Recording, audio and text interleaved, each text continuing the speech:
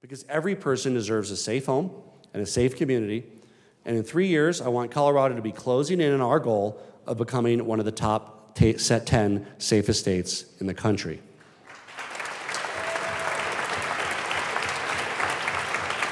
Right now, right now, Colorado falls in the middle of the pack on crime rates, but that's not good enough. We can and we must do better. And I want to commend our legislators who helped pass last year's historic public safety package, including Senator Buckner, Representative Valdez, Representative Ricks, Representative Bacon, and so many others. We also celebrate the important work of community organizations who are helping kids achieve future success. Thanks to legislation passed last year with the leadership of Representative Daugherty, Representative Gonzales Gutierrez, Senator Coleman, and Senator Hinrichsen, Boys and Girls Clubs in Colorado received funding to launch a pilot across 21 club sites in 15 counties to provide real, meaningful enrichment opportunities outside of school to help youth reach their full potential and avoid entering the justice system.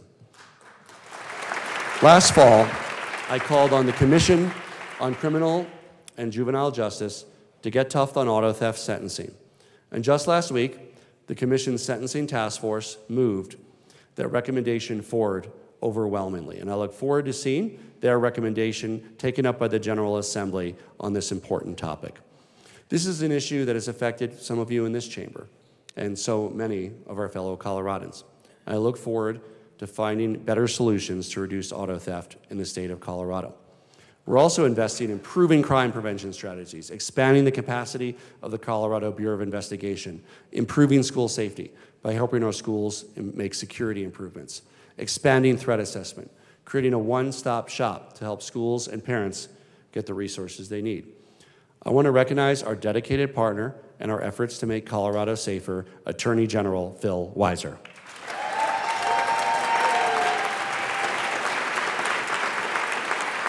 Partnership with our local leaders is critical to making Colorado safer. And I want to thank Colorado Springs Mayor John Suthers, Aurora Mayor Mike Coffman, Denver Mayor Michael Hancock, who's represented today by Acting Mayor Laura Aldrete, for their leadership in helping to make Colorado safer.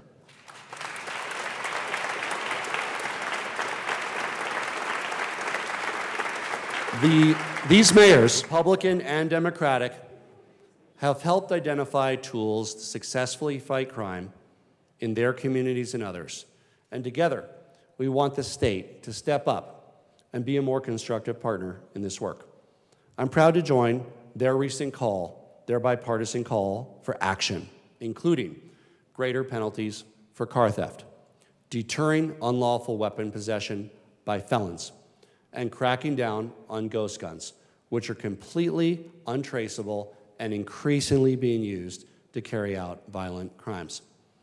In the session ahead, let's take action on their recommendations and other things that we can do to continue our bipartisan work to make Colorado safer for everyone.